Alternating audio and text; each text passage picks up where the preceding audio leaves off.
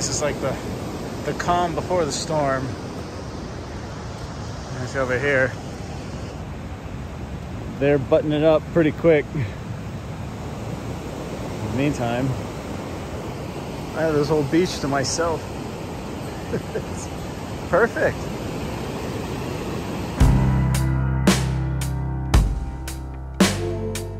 You can see most of the businesses have closed up shop. You know, we're still maybe six or seven hours before it starts to get a lot of fun around here. Wow, people are very well prepared days in advance. It's great. So it's things like this here that worry me because that'll just fly and that'll slice through somebody and cut them in half. It's a staging area for a building that they're building uh, right next door.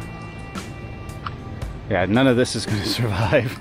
We'll see. Even here, they've been coming out here and filling up um, uh, sandbags. Got all this. This is just random wood, spikes, and glass. And this abandoned car here.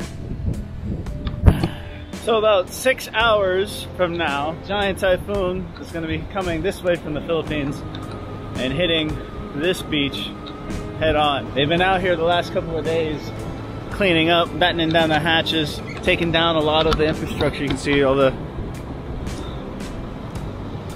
everything's kind of been put up, stacked up, all the awnings, everything. This this was a very vibrant area maybe uh, over the weekend with lots of people, lots of tourists out here, and as you can see, it's they've torn down everything. There was a stage over here that was like a like a live music stage right on the beach. That's been torn down. You used to have to walk further down that way to get to the water, but this uh, storm surge is going to come up and engulf this entire beach. There's a couple of surfboards out here, and I have seen surfers out here. Got to protect the ATMs too, right?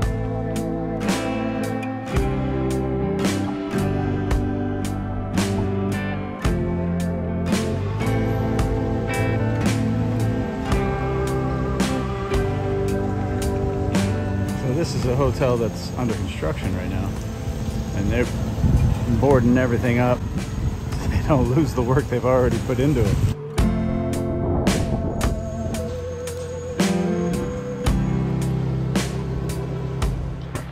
Uh, very interesting that the, the wind is actually going towards the east. On the tail end, it should get uh, pretty fun later on. Because the wind is going in different directions. I have to start going inside soon. Um, they're gonna lock it down between uh, pretty much all night. They said don't come back out till about 10 a.m. So right now it's okay, but you can see out there, there's something big coming.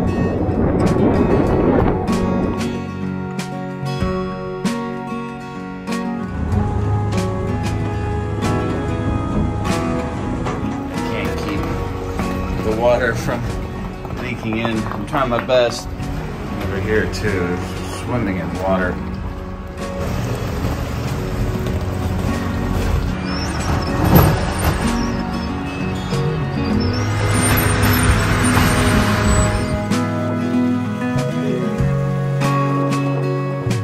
My building did pretty good it would shake and rattle a little bit in the wind overnight. You can feel it kind of doing this. Of course, it's supposed to do that, right? It still scares the shit out of me.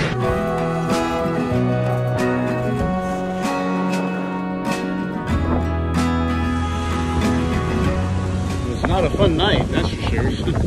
Of this was a boardwalk. With, um,